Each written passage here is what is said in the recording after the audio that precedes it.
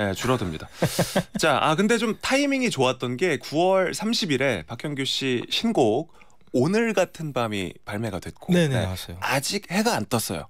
아, 아, 지금 아직 밤이에요. 아 좋다. 예, 네. 지금 오늘이 10월 12일인데 사실 11일 밤이에요, 현규 씨한테는. 아 그렇죠. 그죠? 예. 네. 어떤 곡인지 설명을 좀 부탁드리겠습니다. 어 가끔 이제 밤에 정말 좀 생각이 많아지는 경우가 있잖아요. 네. 근데 그럴 때 이제 제가 느끼는 감정들을 좀 담았어요. 그래서 여러분들도 좀 그렇게 잠이 안 오고 음. 생각이 많은 밤에 들어주셨으면 좋겠다 싶은 곡이에요. 어, 그런 무드를 지니고 있는 곡.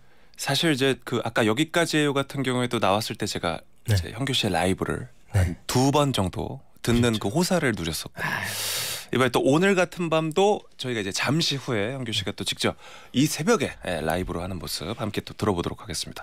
녹음만 2년이 걸렸어요?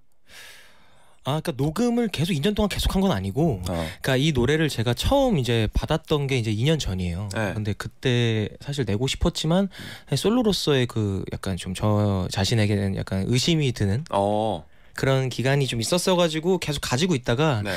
이번에 내게 됐는데 그 기간 동안 계속 제가 녹음해 놓은 게 마음에 안 드는 거예요. 아, 몇 번 했는데. 네. 어. 그 제가 보컬 타짜지 않습니까? 아, 그렇죠. 그래서 약간 다르게 불러보자면서 여러 가지 버전이 사실 회사에 존재해요. 오. 그 나중에 기회가 되면 한번 들려드릴까 싶은데 그렇게 시행착오 겪다가 이제 마지막에 딱 나온 게 이번 음원이에요. 아, 그 의심이 드디어 이제 아, 풀렸군요. 이제 해소가 됐죠. 아, 해소가 됐어요. 네네네. 오, 그렇군요.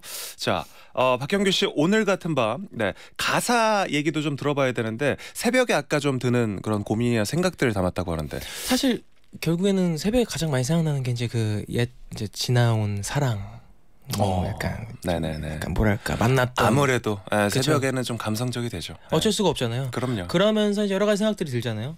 그런 좀 제 얘기를 웬만하면 좀 담은 가사더라고요. 그래서 네. 이거 받자마자 너무 어, 어 이거 나 하고 싶다. 어. 그런 생각이 들었던 것 같아요. 우리 또 라디오인들은 예, 우리 또 번데기 여러분들도 그렇고 라디오인들은 이제 새벽에 또 사랑 감성 또 이런 것들 또 그쵸. 완전히 공감하거든요. 음. 네.